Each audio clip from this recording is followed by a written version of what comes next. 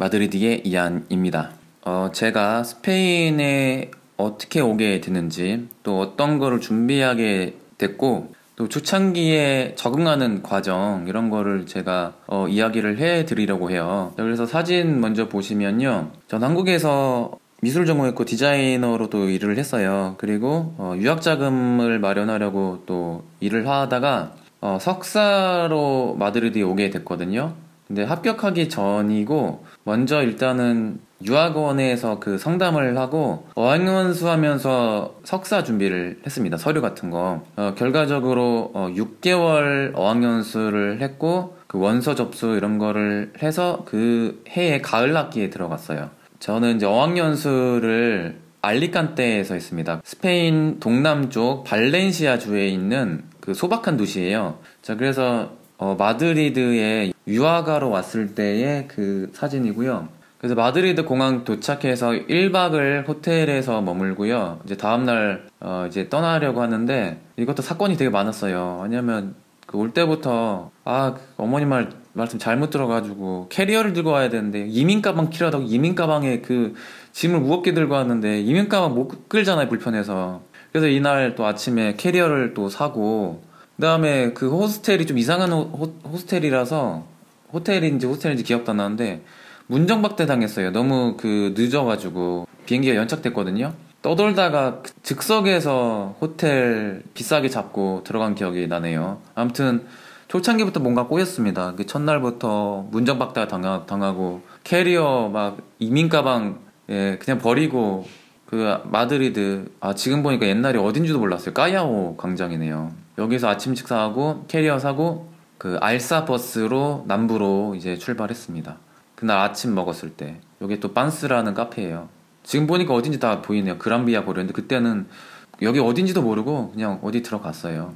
자 그러다 버스 탔을 때 뭔가 설레는 기분으로 드디어 알리칸테 도착했는데 아 야자 야자나무 보이고 와 내가 되게 좋은데 왔다 이런 생각을 했죠. 그래서 그 임시 어학원에서 제공해준 숙소가 있어요. 유학원 통해서 M4X라는 그냥 이름 공개할게요. 어학원 M4X 어, 학원에서 마련한 숙소로 들어갔는데 주말이라서 그 키를 다른 어디 학원에 맡겨놨거든요. 근데 그 키를 이제 찾고 어, 이제 그 주소 맞게 그 였는데요.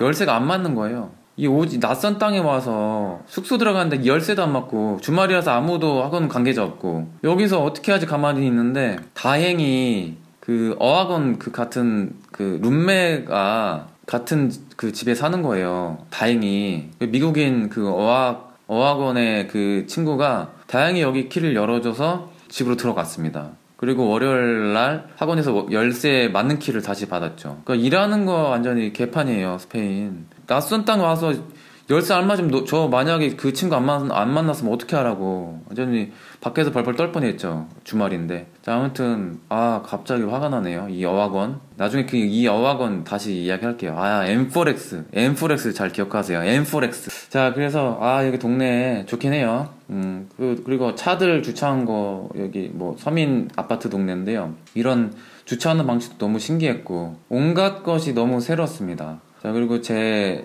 그 숙소인데요. 그 집이 넓었어요. 근데 그 식탁이라든지 쇼파 다 오래된 거. 예, 우리나라에서 중고사 중국 가게에서도 안, 이제 안 사는 거 이런 게 다 이제 진열돼 있고 초반에는 그 혼자 혼자 지내는데요. 좀 이제 며칠 지나니까 하나둘씩 그 이제 어학원 학생들 외국 다 외국인이었어요. 뭐 스코틀랜드 학생도 오고 뭐 다른 나라에서도 학생들이 이제 하나둘씩 오더라고요. 되게 신기했어요. 처음에 빨래를 이렇게 널었는데 여기 어떻게 널었을까? 이런 생각이 들더라고요. 어 이거 무서울 것 같은데 여기 빨리 어떻게 널지? 근데 이게 다 요령이 있더라고요. 도르래 해가지고 이게 쉽게 넣는 방법이 있어요. 여기에서 도르래 딱딱 끌면 그 열 수 있어요. 아무튼 이런 빨래하는 방식 자체도 되게 신기했습니다. 모든 게 다 신기했던. 어, 자 여기 어학원인데요. 그 M4X예요. 유학원 이름 공개 안 할게요. 이제 여, 유학원에서 여기를 이제 추천해줬어요. 근데 이게 학원비가 좀 비싼 편이었고요. 비싸도 상관없는데 전체적으로 따졌을 때 너무 별로였어요. 일단은 그 들어왔는데 숙소 관련해서 거주권 그거 뭐 어떻게 하냐 물어봤는데 나 모르는 알아서 하라고 이딴 식으로 얘기하고 그 제가 등록한 거주권 당연히 어, 집 주소에 대한 거주권을 해줘야 되는 게 당연하거든요. 왜냐면 여기서 사니까 근데 그것조차도 나 몰라 그랬던 그 어학원이에요. 아무튼 아우 기분 나쁜 어학원. 자 그리고 제가 너무 신기했던 게요. 아파트 아는 쪽인데요. 내부가 딱 뚫려 있어요. 그러니까 여기 그 1층이 그 빨래 떨어진 장소기도 하면서 어, 흡연 장소기도 해요. 여기가. 그래서 빠띠오라고 하는데 스페인식 그 건축물들이 이런 게 많아요. 그 바르셀로나의 어, 까사밀라 까사바띠오 가우디 건축물도 이런 식이죠. 자, 집 내부고요. 이 TV 누가 이런 거 써요? 그 이런 TV 아직도 씁니다. 스페인에서는. 그 뭔가 모든 게 심리적으로 추웠던 집도 춥고 마음도 추웠던 그 초창기 시절입니다. 자, 여기 동네고요.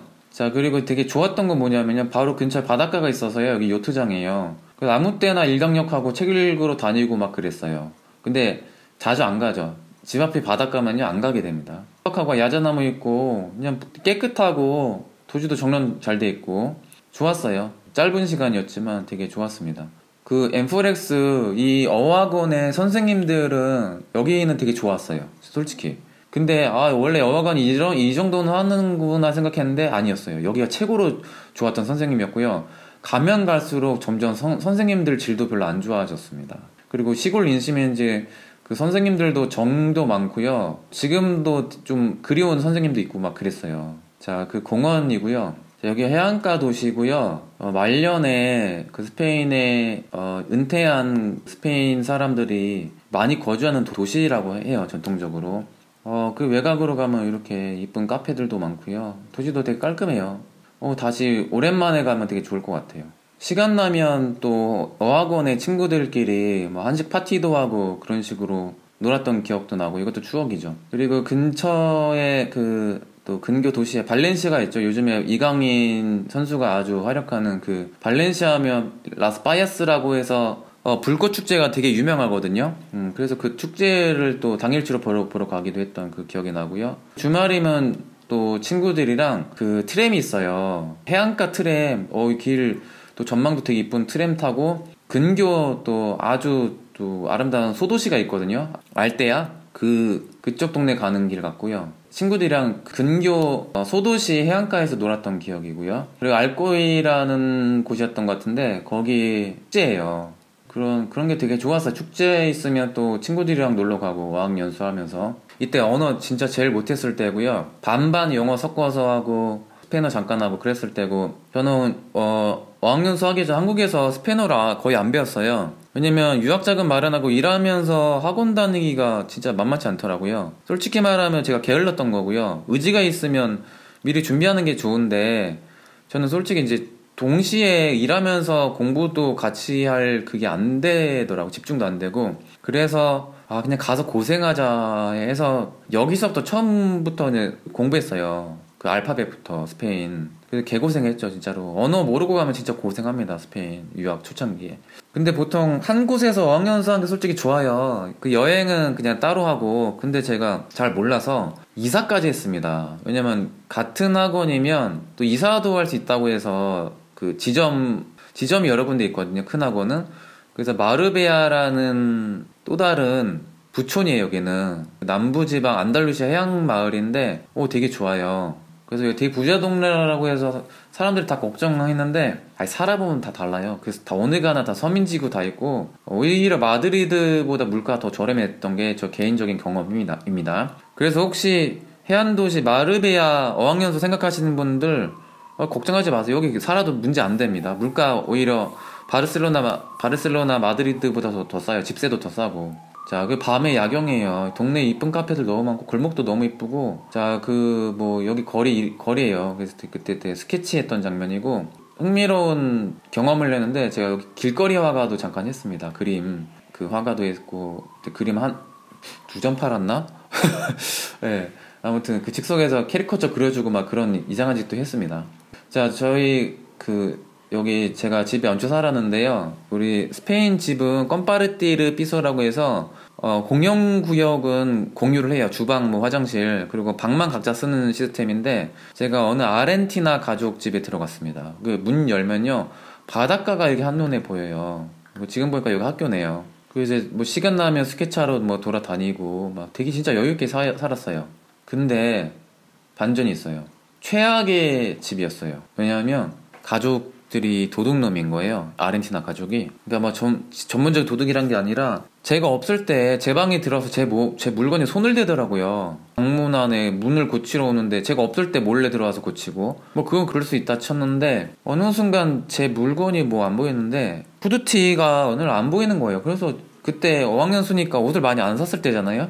그래서 약간 쌀쌀했을 때인데 5월 달이면. 뭐 안 보이는 거야 아무리 봐도. 그럼 학원에 두고 왔나? 아닌데 나 이거 분명히 입고 한 기억이 안 나는데 어디 갔는지 찾다가 어느 날 그 아주머니 가, 그 아르헨티나 그 집주인 아주머니가 제 옷을 입고 있는 거예요. 와 충격이었죠. 문화 충격. 엽기죠 이거는. 제 옷을 왜 입고 있어요? 근데 이상한 핑계를 대는 게 아 내가 빨래 섞여가지고 내가 잘못 입었다. 아, 이게 말도 안 되잖아요 어 그때부터 너무 불안하더라고요 제 몸에 제 물건에 손을 대니까 그리고 되게 마음에 안 드는 게 집세 계약대로 내는 조건으로 왔잖아요. 근데 그 다 포함되어 있는 그 관리비에다 갑자기 인터넷비 따로 내라고. 그리고 저보고 너 왜 샤워 세 번 하냐고 하루에 두 번 하냐고 했나? 아무튼 그 그러니까 하루에 한 번만 하래요. 물 많이 쓰고 그리고 요리 많이 하니까 너 다음 달부터 집세 더 내라고. 어 진짜 정 떨어져 가지고 그 결정적으로 제 물건에 손을 대면서 어 대판 싸웠죠. 그래서 막 그 처음에는 이 가족들이 저한테 와 너 얼마 안 되는데 스페인어 잘한다 이렇게 격려해주다가 전 이제는 사이가 안 좋아지니까 너 왜 이렇게 스페인어 못하냐고 막 이렇게 막 공격하더라고요. 어 그래서 이때 아르헨티나에 대한 그 사람에 대한 되게 안 좋은 기억이 남아있어요. 자 근데 다는 아니겠지만 그래서 뭐 이런 말 있어요. 남미 사람들 조금 그 같이 살면 좀 조심해야 된다는 말은 그 많이 들었는데 어 그때 데였습니다. 근데 이 무렵에 그 석사 대학원 합격을 해서 이제는 마드리드 와도 되, 되거든요. 근데 한 몇 개월 더 있어도 되는데 빨리 왔어요. 이제 정 떨어져서 그 가족들한테 뒤어가지고 자 그래서 마드리드를 이제 오게 됩니다. 어, 유학 청산하고 자, 근데 제가 어학연수 하면서, 어, 유학원이랑 계속 연락하면서 준비를 했거든요. 원서 접수하고. 그래서, 리, 리서치도 유학원이 좀 어느 정도 해주고, 해주고, 제가, 어, 전공했던 게 예술, 문화예술 경영인데, 저는 솔직히 그 영국 쪽을 준비했어요. 그쪽이 더 대학이 좋으니까. 그런데 그 한국에서 그 유학 자금 마련하고, 어, 돈을 벌다가 좀 가치관이 좀 많이 바뀌었어요. 그, 관심 분야도 그래서 관광과 관련된 그런 게 좀 관심이 생겨서 어, 미술과 관련된 뭐 그런 비슷한 학문 뭐일까 했을 뭐가 있을까 했을 때 예술 경영이라는 학문이 있더라고요. 아 그러면 관광을 뭔가 문화 관광 이런 거 배우려면 어느 나라에 가면 좋을까를 생각했을 때 관광객 대국 크게 이탈리아와 스페인, 프랑스가 딱 있더라고요. 근데 저는 여행 경험으로 봤을 때 스페인이 너무 재밌었고 좋은 기억이 많았었기 때문에 스페인을 선택했어요. 그러니까 어떻게 보면 나라를 먼저 결정을 하고 또 관심 분야는 좀 이순위? 그냥 살아보고 싶었어요, 이제 스페인에. 옛날부터. 그래서 나중에 이제 여기 한번 살아보고 싶다 이런 생각하고 유학지를 여기를 결정하면서 어떻게 보면 그 관심 분야, 전공은 또 나중에 선택했다고 볼 수가 있어요. 그 나중에 이제 대학교 어디가 제일 유명하나 했더니 바르셀로나 마드리드 찾다가 바르셀로나는 catalán 그 까탈루냐어 그 언어가 따로 있거든요. 스페인어도 못하는데 catalán 괜히 수업했다가 이도저도 아니게 될 것 같은 그 불안감에 그 마드리드로 이제 또 더 관심이 생기다가 바르셀로나 마드리드 둘 다 합격을 했는데 근데 search해보니까 마드리드 학교가 더 좋았습니다. 후안 까를로스 3세라는 대학교에 어, 결국 가게 됐죠.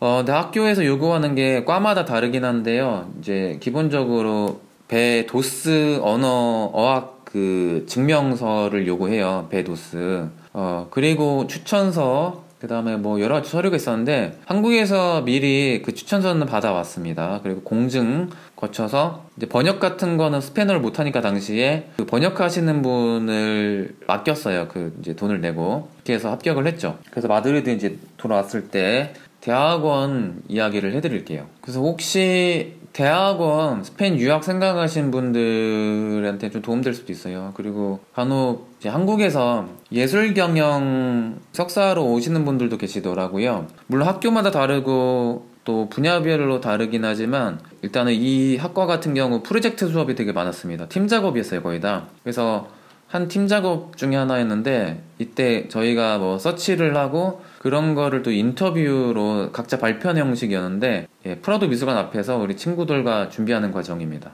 그리고 주말마다 파티도 되게 많이 했어요. 그래서 저희 학교 학생들이었어요. 그 인원이 반, 거의 40명이었는데요. 반이 스페인이고 반은 외국인인데 거의 다 라틴어 파생어 국가들. 그러니까 프랑스, 남미 사람이 꽤 많았고, 네, 멕시코 사람이 꽤 많았어요. 어, 나머지 그 미국인 한 명. 어, 그래서 다 외국인이고, 아시아 사람이 딱 두 명 있었는데, 저와 일본 학생이 있었어요. 일본 여자 여학생이었는데, 어, 제가 어학연수 6개월 하고 대학원에, 대학원 갔는데, 안 돼요. 6개월 가지고는 원래. 그 따라가는데 너무 힘들었습니다. 그래서 만약, 만약에 석사 준비하시는 분들 계시면 어학연수는 최소 1년이에요. 1년. 최소. 그것도 부족하대요. 저는 그럼 6개월 했는데 뭐 말 되겠어요. 수업인데. 그래서 제가 어, 언어를 제일 못했고요. 이 반에서. 그 다음으로 못한 학생이 일본 학생이었어요. 근데 그 친구도 1년 이상 어학연수 했는데도 되게 힘들어 했습니다. 아, 마리아, 이 친구 너무 많이 도와주고, 어, 뭐, 말 못한데도 막 되게 친근하게 잘해줬던 친구. 그리고 호르의 형. 초창기 견학 수업이 되게 많은데요. 그 마타데로라는 도살장이었어요. 원래 옛날에 아주 큰 도살장이었는데 폐허가 된 건물을 아, 문화 그 공간으로 살린 아주 좋은 공간이라서 여기에서 이제 수업을 했을 때 장면이에요. 견학 수업이죠. 저 이런 게 되게 좋았어요. 견학하고 어디 막 마치 소풍 가는 듯한 느낌이잖아요. 그 학생들이에요. 우리 사라라는 친구도 되게 착했고 프랑스 친구, 멕시코 친구.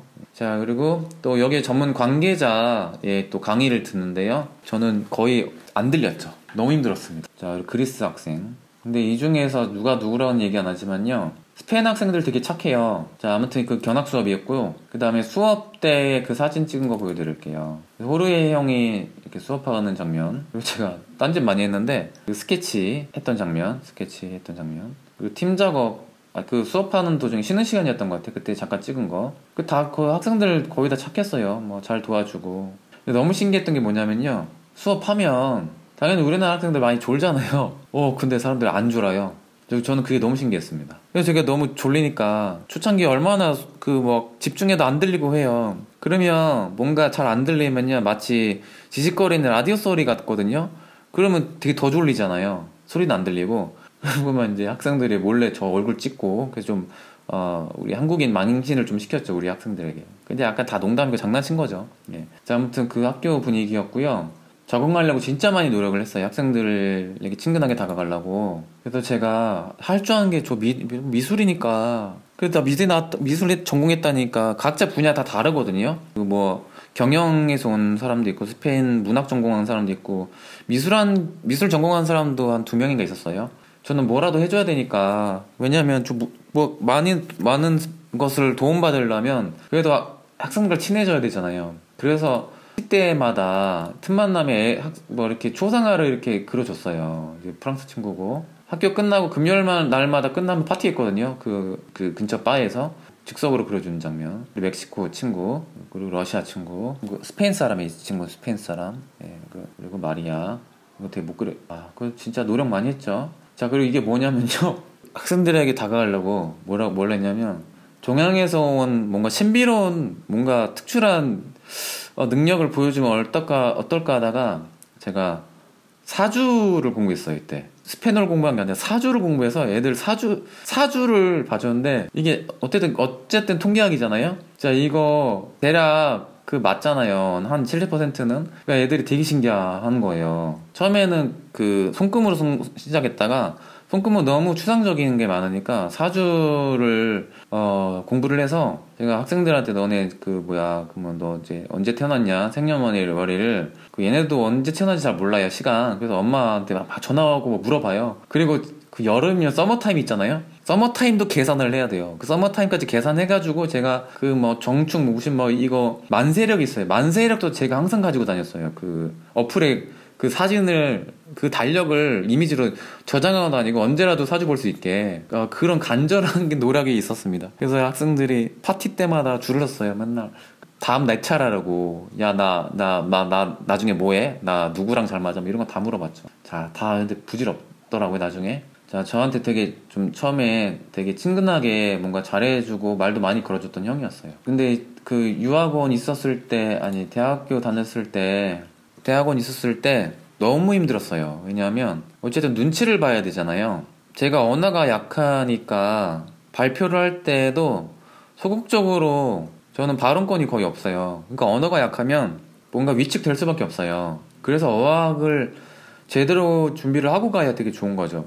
스페인어를 할 줄 알더라도 제가 만약에 추천, 추천한다면 영어로 수업하는 그 학과로 가는 걸 더 추천해드려요. 왜냐면 영어는 그 스페인 학생들이나 우리나라 학생들이나 별 차이 없거든요. 오히려 우리나라 학생이 영어 더 잘해요. 그러면 좀 동등한 입장에서 수업할 수 있는 기회가 되거든요. 그런데 언어가 약하면 아무래도 위축될 수밖에 없어요. 그래서 한국에서는 제가 수업하면 항상 프로젝트 할 때 거의 다 제가 발표하고 항상 제가 뭐 그 거의 리더가 돼서 했는데 여기서는 다 따라갈 수밖에 없게 되더라고요. 그리고 눈치 봐야 돼요. 내가 욕먹기 너무 싫으니까. 근데 다행히 그 저희 조원들, 팀, 팀원들이 저를 그, 그래도 좀 좋아해 줬던 이유가 그 도움되는 일, skill을 가지고 있었거든요. 뭐냐면 제가 그래도 어쨌든 전공이 디자이너였으니까. 그 포토샵 작업 그 다음에 포스터 디자인 이게 되게 필요했어요 많이. 그래서 그런 작업 그 제가 디자인한 건데 이제 이런 편집 디자인 포스터 디자인 그 가상의 프로젝트 결과물을 내려면 포토샵 작업을 되게 잘 해야 되거든요. 근데 학생들이 그 어쩌면 디자인과 아니면 포토샵 잘할 일이 없잖아요. 그래서 제가 포토샵 원래 저 그 산업 디자인 학과 할 때 항상 늘 쓰던 뭐 그 별게 안 돼, 별거 아닌 그 포토샵도 기능이 너무 많아서 쓰는 기능만 썼는데 쓰는데도 제 그 마우스 돌리는 그걸 보더니 애들이 다 놀라는 거예요. 너, 너 어떻게 이런 걸 하냐고. 그래서 그때 한번 어 좀 좋았죠. 애들이 저를 우러러 보더라고요.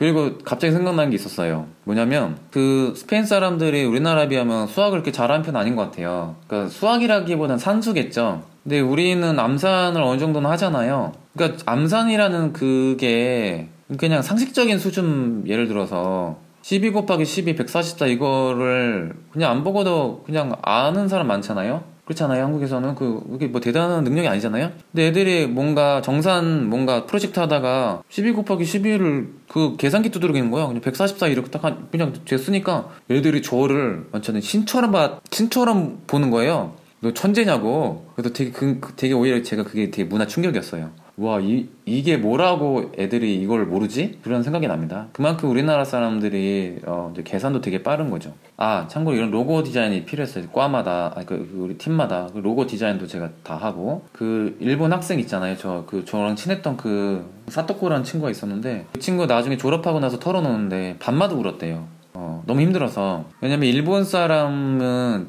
우리보다 더 그 피해준 거 정말 싫어하잖아요. 저도 되게 힘들었는데, 아, 그래도 뭐, 팀작업이니까 서로 묻어가는 거지. 나는 뭐, 그래도 이런 디자인 작업도 그래도 그나마 하니까. 근데 그 친구는 이런 것도 없는 거예요. 그리고 뭐, 발표할 때도 다 대본 써주는 거 그 읽기만 하고. 그래서 너무 그, 그 피해주는 것 같아서 너무 힘들어서 어느 날 학교를 안 나오는 거예요.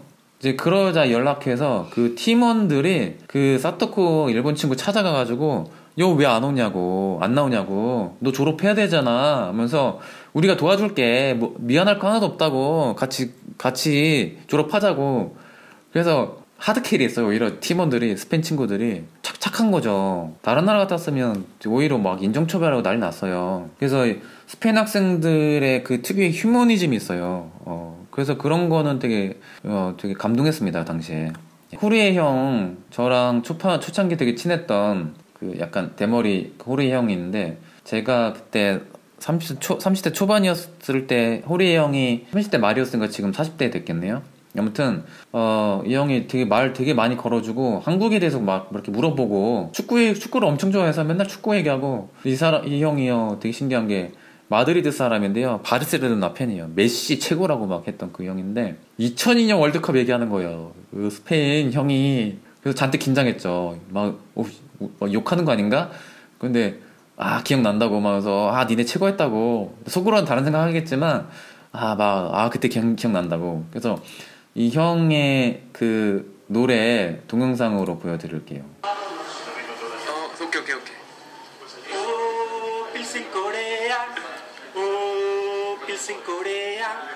오 필신 코레아 오오 아에 아에 에에. 오 필신 자닐리. 오 필신 자닐리.